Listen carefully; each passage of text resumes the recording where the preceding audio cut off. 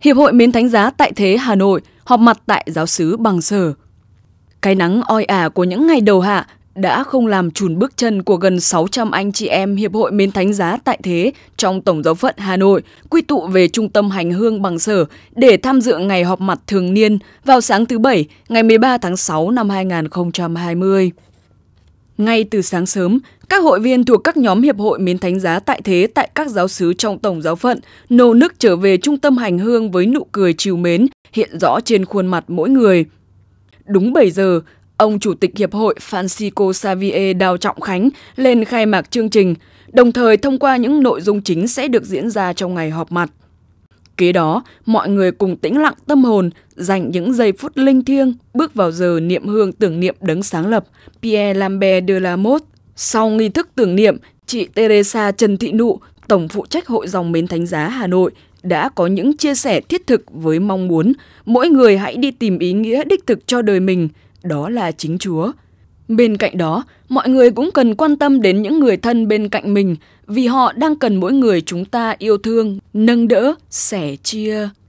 Gian khổ thì chúng ta hãy chạy đến với Chúa, nói chuyện với Ngài và mời Ngài vào trong cuộc sống của mỗi người chúng ta. Từng giây, từng phút, hãy nói chuyện với Ngài. Được chào đón với chàng pháo tay nồng nhiệt từ toàn thể quý hội viên trong bài chia sẻ trước thánh lễ, cha tổng đại diện Anton đã từng bước khơi lại chặng đường hình thành và phát triển của Hiệp hội Mến Thánh Giá tại Thế của Tổng giáo phận và nhấn mạnh đến tình chị em giữa Hiệp hội Mến Thánh Giá tại Thế và dòng Mến Thánh Giá Hà Nội khi cùng bước theo linh đạo của đấng sáng lập, linh đạo Mến Thánh Giá Hà Nội. Thế thì chúng ta được không phải là chúng ta phải nên cái nên thánh của chúng ta là thánh của niềm vui, bởi vì chúng ta được hồng ân của Chúa, bởi vì chúng ta được Chúa mời gọi bởi vì chúng ta được Chúa cho chúng ta sống cái tình yêu thuộc giá nên nếu mà chúng ta cảm nhận được như thế thì những ngoài chị em, chúng ta sẽ thấy cái niềm vui của tin mừng rất là tuyệt vời, biểu lộ qua cái linh đạo những giá mà quý sơ, quý mà anh xem là chúng tôi nữa là các giáo sĩ cũng được đấng tổ phụ mời gọi. Chiêm ngắm Đức Giêsu Kitô chịu đóng đinh là đối tượng duy nhất của đạo chính chúng ta bởi vì khi chúng ta chiêm ngắm ngài trên cây thập giá không phải là đau khổ không phải là một cái sự thực nhã nhưng đó là một hình ảnh của niềm vui của niềm hy vọng. Kết thúc bài chia sẻ, vào lúc 10 giờ 30, trong bài thánh ca du dương đầu lễ, cộng đoàn bước vào thánh lễ suy tôn thánh giá do cha tổng đại diện Anton Nguyễn Văn Thắng chủ sự. Hiện diện trong thánh lễ có cha tổng đại diện Anton Nguyễn Văn Thắng, cha quản hạt du xe Vũ Ngọc Ruẫn, chính sứ bằng sở, quý cha đồng tế, quý thầy phó tế, quý sơ dòng Mến Thánh Giá Hà Nội và đông đảo anh chị em Hiệp hội Mến Thánh Giá tại thế trong Tổng giáo phận Hà Nội. Chia sẻ trong thánh lễ, một lần nữa cha tổng đại diện Anton nhấn mạnh đến ý nghĩa của linh đạo Bến Thánh Giá Hà Nội mà Hiệp hội đã, đang và tiếp tục bước theo, đồng thời Ngài mời gọi mỗi thành viên. Như hạt cát rơi vào miệng con trai và nó đã tiết ra cái chất nền bao bọc nó và biến nó thành hạt ngọc. Vậy người theo Chúa là người biết đón nhận đau khổ để biến đổi nó thành viên ngọc trai cho đời. Đối với anh chị em sống linh đạo dòng những thánh giá, thì chúng ta nhìn vào thế giới hôm nay có rất nhiều cái đau khổ, bi thương vì con người không biết yêu mến và chấp nhận thập giá để theo Chúa. Nên cái đau khổ nó hành hạ người ta. Người ta không tìm thấy cái niềm vui ở trong cái đau khổ. Mọi thành phần dân Chúa ở trong giáo hội, giám mục, linh mục, tu sĩ, người giáo dân cần chung sức làm công đồ như là ý đấng sáng lập, làm cho mọi người hiểu được ý nghĩa của thập giá, để từ đó hiểu được cái ý nghĩa của đau khổ, để mà yêu thương, để mà đóng góp phần mình. Vì thế thì hội biến thánh giá hà nội thầy thế hà nội được thiết lập vì cái mục đích đó. Lý tưởng của hiệp hội là lấy chúa giêsu chịu đóng đinh là đối tượng duy nhất của lòng mình và chia sẻ, xây dựng cái lòng yêu mến thập giá thánh giá chúa bằng việc hy sinh hãng mình trong cái cuộc sống gia đình giữa đời. Vậy kính thưa quý ông bà và chị em, thập giá Đức Giêsu Kitô là biểu hiện của tình yêu và sự hy sinh mà Chúa ban tặng cho nhân loại để con người được sống người Kitô hữu mang danh là kitô hữu là người mang tình yêu của Chúa đến với anh chị em trong cái tinh thần của niềm vui tin mừng nhờ sự hy sinh qua việc mỗi người mang thập giá mình hàng ngày mà theo Chúa. Thánh lễ tiếp tục diễn ra trang nghiêm và sốt mến qua phần phụng vụ thánh thể và kết thúc vào lúc 11 giờ 30 sau khi cộng đoàn tưởng nhớ về đấng sáng lập với những câu kinh và bài hát mừng kính Ngài. Được hỏi về các sinh hoạt và công việc tông đồ của hội trong giáo xứ, các hội viên cho biết. Hiệp hội à, giáo xứ Đồng Chiêm chúng con ấy, thì à, chương trình là mỗi một tuần là giáo xứ đồng à, hiệp hội chúng con sẽ sinh hoạt một lần vào tối chủ nhật để coi như là anh em coi như là đọc kinh, rồi cầu nguyện. Hai nữa là về hiệp hội chúng con ấy, là mỗi một tháng là chúng con có một giờ chầu thánh thể và ờ, thánh lễ. Thế ờ, về tinh tinh thần phục vụ tông đồ của hiệp hội ờ, chúng con ấy. Thì giáo sứ chúng con ấy thì là giáo sứ rất là đông dân, mà các cháu thiếu nhi thì lại rất đông cho nên là chúng con thường xuyên thường xuyên coi như là uh, hợp tác với ờ, các ờ, sơ để coi như là coi sóc các cháu trong những cái buổi lễ làm sao cho được là sốt sáng. Hai nữa là trong một năm ấy thì uh, uh, hiệp hội chúng con cũng thường xuyên đấy gọi là quan tâm đến các cháu trên mọi uh, lĩnh vực hoạt động ở trong uh, giáo xứ. Cái thứ ba nữa là về uh, uh, tinh thần coi như là uh, anh em ở trong uh, hiệp hội ấy, rất là mất nhiều những cái thời bỏ nhiều những cái thời gian ra để uh, trực tiếp đến tận những gia đình mà có những cái ông chồng có nghe cũng đã bỏ chúa nhiều năm lự khô khan lười nhà thờ. Thế mà chúng con cũng đến mà động viên rồi thì cũng uh, nhờ cái lời cầu nguyện của hiệp hội chúa đã chạm đến uh, các ông và đến giờ này các ông cũng rất là sốt sáng và các ông ấy được cái ơn trở lại bây giờ các ông ấy rất là sốt sáng và chịu à, khó đi nhà thờ và chịu khó đi lễ. Cái thứ tư nữa là về hiệp hội chúng con ấy là cũng thường xuyên đấy, quan tâm và thăm hỏi chăm sóc đến những cái bệnh à, nhân hiểm nghèo những cái bệnh nhân gọi như là là, là, là hiểm nghèo ở trong à, giáo xứ. Hiệp hội miến Thánh Giá đã được thành lập cách đây gần 4 năm. Chị em đã uh, tham gia một cách tích cực và làm việc tông đồ thật xuất sáng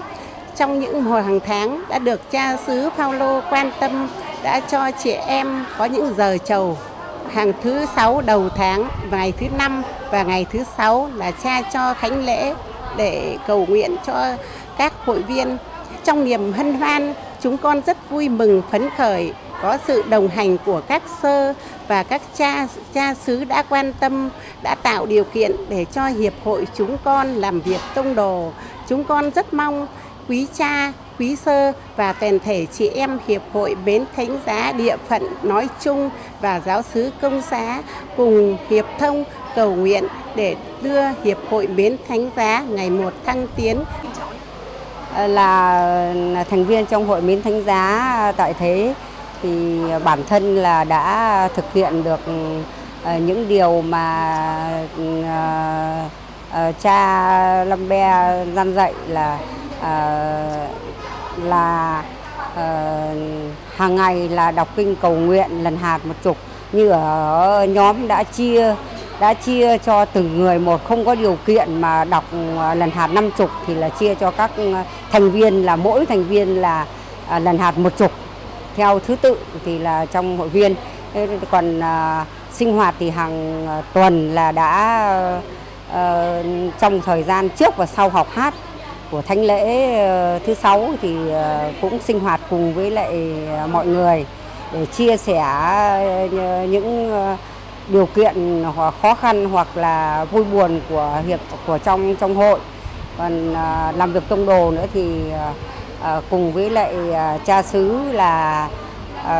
đi làm việc từ thiện hoặc là đi thăm hỏi những người ốm đau bệnh tật cũng ở trong à, công giáo nhà mình và cũng như à, người tôn giáo bạn. Thế rồi à, đi thăm trại phong rồi làm việc những công việc của nhà xứ, tham gia cùng với lại các hội đoàn là cũng tham gia các công việc của nhà xứ. Thế rồi một phần mà chúng tôi thấy là cần thiết nhất là đi chia sẻ và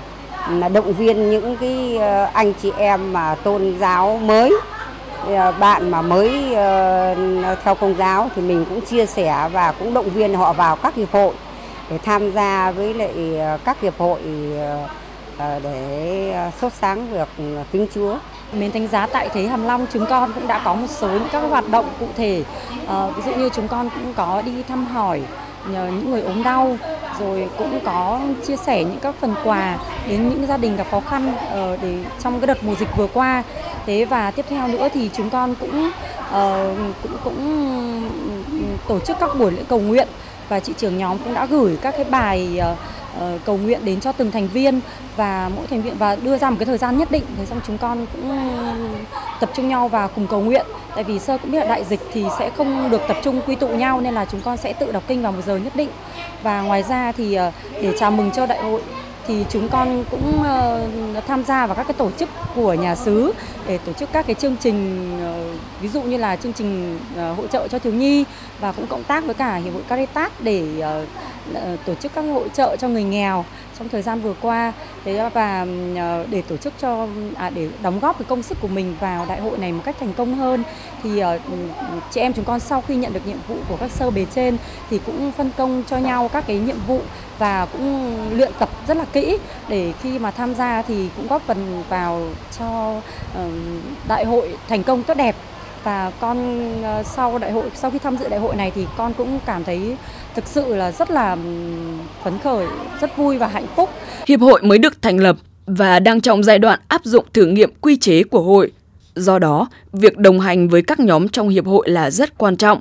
Liên quan đến vấn đề này, Sơ Maria Nguyễn Thị In cho biết. Đối với riêng cá nhân tôi thì tôi đang đồng hành với nhóm ở giáo sứ Đồng Chiêm. Giáo sứ Đồng Chiêm thì ờ, nó có các cái đặc biệt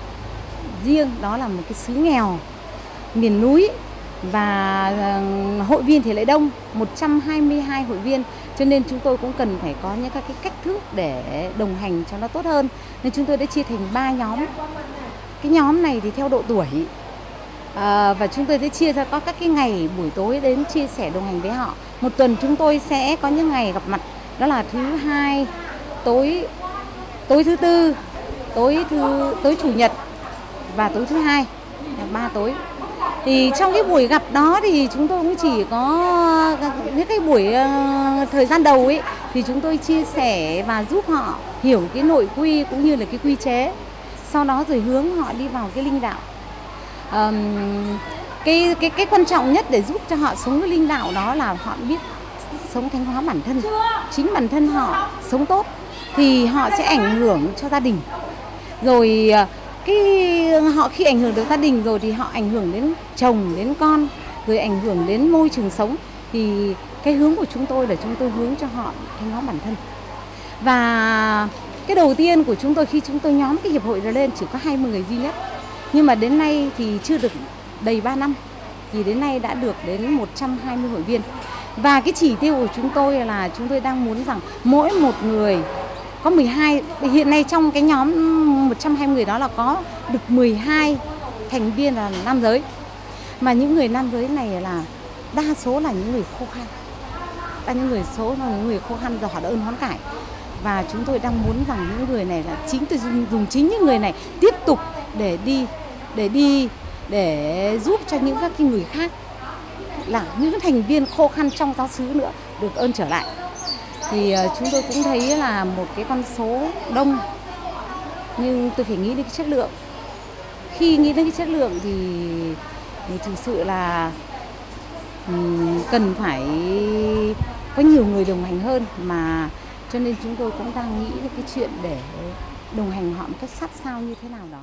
Ngày họp mặt đã khép lại, những khắc ghi trong tâm khảm mỗi hội viên niềm vui mừng vì được sẻ chia tình anh chị em sau những giờ phút được đoàn tụ, Đồng thời, mỗi hội viên được gia tăng lòng hăng say để thực thi sứ vụ theo linh đạo Bến Thánh Giá mỗi ngày thêm triển nở. Được biết, Hiệp hội Mến Thánh Giá tại thế hiện nay có 22 nhóm nằm giải rác khắp địa phận với 936 thành viên chính thức.